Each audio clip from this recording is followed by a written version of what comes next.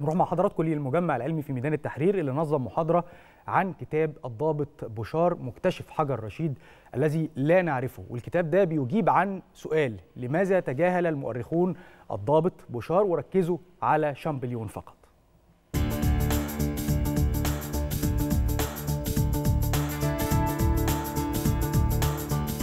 صرح علمي عظيم في مصر بشار اللي هو موضوع كتابي هو كان عضو في المجمع العلمي المصري أيام الحملة الفرنسية. بشار أغفلنا سيرته وتاريخه في في التاريخ لأنه هو مكتشف الحجر وهناك من أريد أن يعني يغمض حق بشار في تاريخ علم المصريات. التركيز على شامبوليون لأنه فكر المزر الهيروغليفيه ده شيء عظيم لكن لابد من ذكر أيضا بوشار مكتشف الحجر. لأنه في تاريخ بوشار مفاتيح وصول حجر رشيد إلى إنجلترا ومفاتيح لاسترداد الحجر من إنجلترا. لأن في الكتاب في, في آخر الكتاب أنا حاطط وثائق تسليم الحجر لإنجلترا ومذكرات بوشار في موضوع تسليم الحجر. هو حضرتك لازم نفصل بين حاجتين بين الحملة كحملة عسكرية غازية استعمارية وبين وبين الجهد العلمي للحملة. كان حملة فيها علماء كتير في كل التخصصات وعملوا كتاب وصف مصر من هذا الجهد. بشار كان جزء من هؤلاء العلماء وزي ما قلت كان عضو في المجمع العلمي وأرسل إلى رشيد لعمل تحصينات في قلعة قايتباي برشيد وأثناء عمل التحصينات دي عثر على الحجر. وبالتالي وانقذ الحجر من فؤوس العمال اللي كانوا عايزين يكسروه وبالتالي لحسن الحظ حدثه التاريخي ده نبهه لأنه الحجر ده وراه اكتشاف علمي مهم. ومن هنا يعني قرر إنه يحتفظ بالحجر وينقذه وامر جنرال منول وكان قائد رشيد وقتها العسكري إنه يرسل الحجر للمجمع العلمي في مصر. المحاضرة كما رأيت كانت مختصرة جدا ومواضيعها تستحق أن تكون على امتداد خمس أو ست محاضرات مماثلة.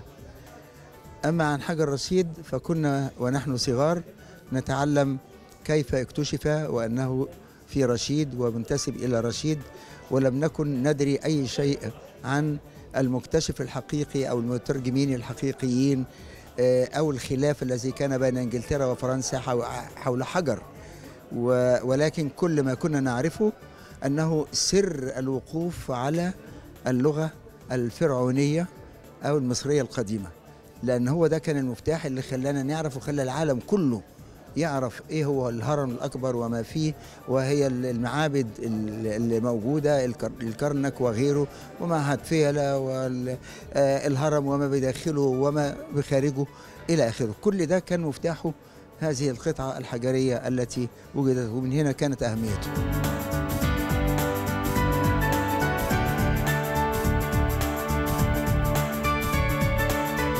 الأستاذ الدكتور أحمد يوسف مدير المركز الثقافي في باريس على علاقة وثيقة جدا بالمجمع العلمي المصري. بحكم أن المجمع العلمي المصري نشأته كانت نشأة فرنسية أيام نابليون بونابرت.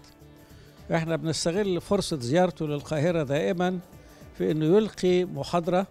النهاردة فاجئنا بموضوع حجر رشيد وأن حجر رشيد لم يكتشفه شامبليون ولكن اكتشفوا شاب فرنسي اسمه شابير أو على أي حال هذا الاكتشاف حتى الآن لم يوثق ولا زال الحجر موجود في إنجلترا. فرنسا بتسعى للحصول على هذا الحجر إنما في صعوبة في هذا يعني. الكتاب النهارده بيلقي الضوء للمرة الأولى على مكتشف يعني لحجر رشيد. دايما إحنا كتب التاريخ أو إحنا كلنا عارفين إن شامبوليون هو مكتشف حجر رشيد. ولكن الدراسات التي قام بها الأستاذ الدكتور أحمد يوسف هو هيكلمكم أكيد بطريقة موسعة أكتر. ألقت الضوء على ضابط من الحملة. كان له كبير دور كبير قوي قوي قوي في اكتشاف هذا الحجر والحفاظ عليه. آه وبعد كده طبعا آه في مجموعة من آه العلماء والأشخاص قاموا بفك رموز هذا الحجر وبالتالي فك رموز الهيروغليفية ومعرفه طبعا أسرار الحضارة المصرية. فهو كان اكتشف الحجر والحجر ده كان جزء منه مدفون وكان الجزء العلوي من الحجر كان مكتوب عليه باللغة اللاتينية واللغة اللاتينية هو كان متعلمها لأن هو كان عارف اللغة اليونانية وكانت بتدرس اللاتينية واليونانية في مدارس البوليتكنيك في فرنسا.